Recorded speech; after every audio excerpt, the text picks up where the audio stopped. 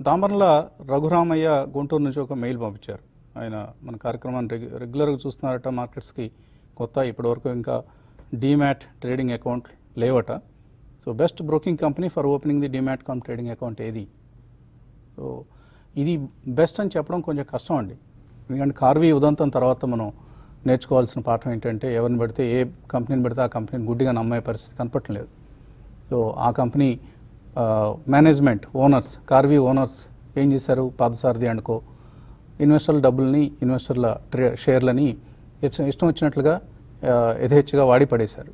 So ఫలితంగా కొంత కొన్ని వేలాది మంది లక్షలాది మంది ఇన్వెస్టర్స్ ట్రేడర్స్ ఇవాళ నష్టపోయి ఉన్న పరిస్థితి సెబీ కూడా దీనికి ఎటువంటి సొల్యూషన్ సూచించలేకపోతుంది. కాబట్టి try to open your accounts in some institution backed broking companies like HDFC ICICI Kotak ఇలాంటివి కొంతవరకు బెటర్ అనిపిస్తుంది.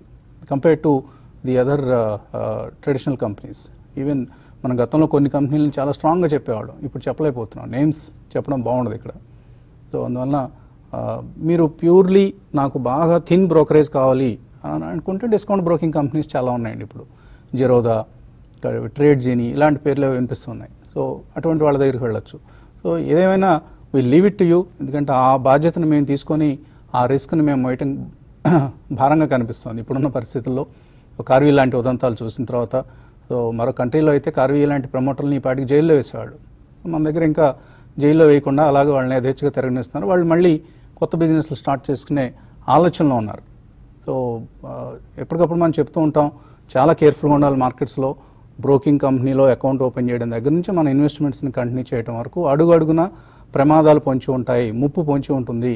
మనం ఏదో రీసెర్చ్ చేసి గొప్పగా చేసి ట్రేడింగ్ డెసిషన్స్ ఇన్వెస్ట్మెంట్ డెసిషన్స్ తీసుకున్నంత మాత్రాన్ని సరిపోదు. ఇంకా అన్ఫోర్సీన్ అన్నోన్ రిస్కులు చాలా ఉంటాయండి. వాటి నుంచి మనల్ని మనం కాపాడుకోవటం మన బా- బాధ్యతే ఎవరు కాపాడరు మనల్ని. సెబీ కాపాడదు ఎన్ఎస్సి కాపాడదు బీఎస్సీ కాపాడదు.